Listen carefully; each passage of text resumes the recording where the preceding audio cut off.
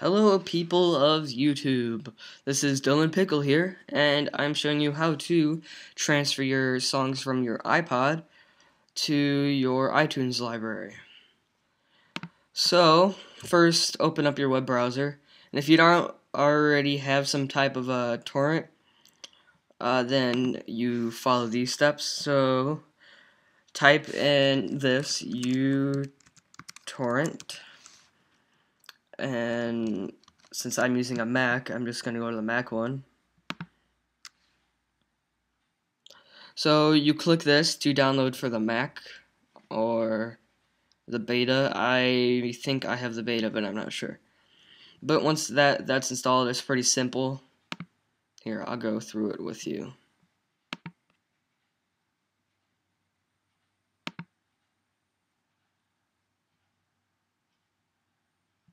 Uh, right here you just drag in your application so it's already there. So now you want to go to a website called BT Junkie? I there's probably other sites you can get this from but I use this site the most. And now you want to use this program. And so you type that in right here.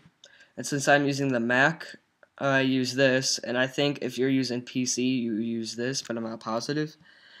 So you open this up, and just read the comments, see if it's all right. Excellent torrent worked fine first try. So then you click here, download torrent. Open up the download, and then this will pop up. This is just asking you what you want to install. So just push OK since you want to install that. So your download will start in a couple of seconds. It'll be a little slow to start out, but it'll speed up.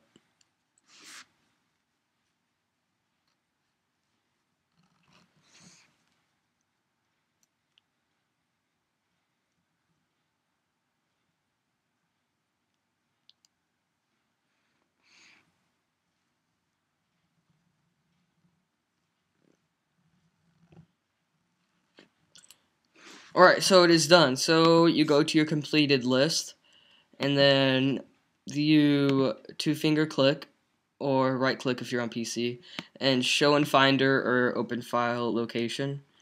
And you double click on this, and you'll need to unzip it. This is just a program that I have to unzip stuff. I don't know if you'll need this, but the program is called ZipPeg and you can just search that on Google. Um, no, not right now. So you just click here, and then uh, there, and then you extract.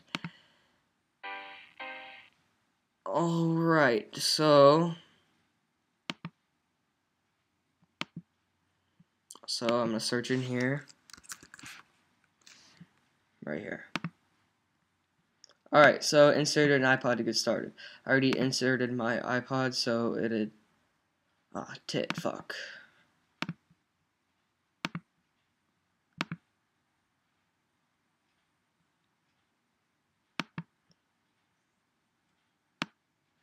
Don't update. I don't think you have to update. So here's all my songs. So you just say I want to right here. Upload, uh, transfer this song. So all you do is push transfer, and then add to iTunes.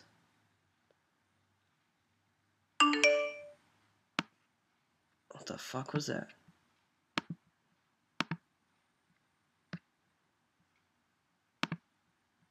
Alright, so the song was called Rodeo Clowns.